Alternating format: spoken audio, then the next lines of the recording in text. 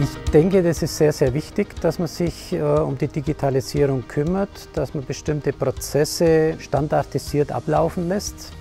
Und wir haben da verschiedene Produkte, die wir bereits im Einsatz haben, die wir jetzt gerade neu mit in den Betrieb mit einbringen. Und für die Zukunft sicherlich wird noch einiges kommen.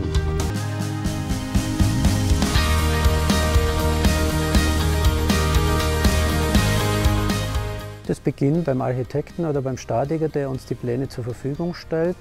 Mit diesen DXF-Dateien können wir zum Beispiel unser Vermessungsgerät dann bestücken, können die Daten in einen GPS-Stab einlesen und damit einen Mitarbeiter losschicken. Der misst sich halt sein Gebäude vor Ort hin, ohne dass er ein herkömmliches Schnurgerüst braucht.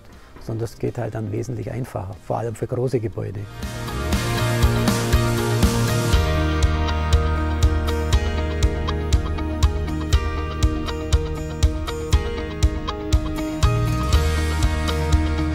Die Drohne haben wir aus Werbegesichtspunkten. Wir überfliegen diese Baustellen und stellen das dann in die Social Media, sei es Facebook, Instagram. Es gibt tolle Bilder. Es dient aber auch einem Informationszweck. Wir brauchen zum Beispiel am Monatsende eine Leistungsmeldung von unseren Bauleitern. Dann überfliegen wir dieses Gebäude und dann wissen wir genau, was war zum Beispiel am 31. des Monats der Baustellenstand.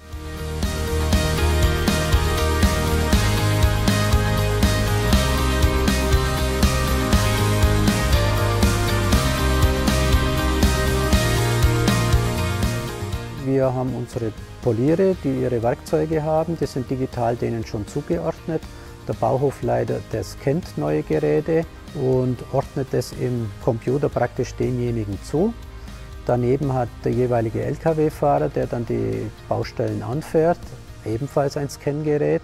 Und damit ist so gewährleistet, dass er das, was er scannt, auch mitnimmt.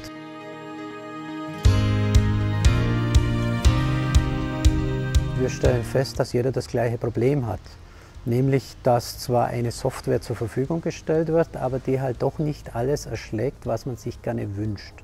Das heißt, wir müssen eine Vielzahl von verschiedenen Programmen bei uns in der Firma installieren, müssen dann die Schnittstellen dazu erarbeiten lassen. Das wäre eine Vereinfachung, ein guter Schritt in die Zukunft, dass uns Unternehmern geholfen ist.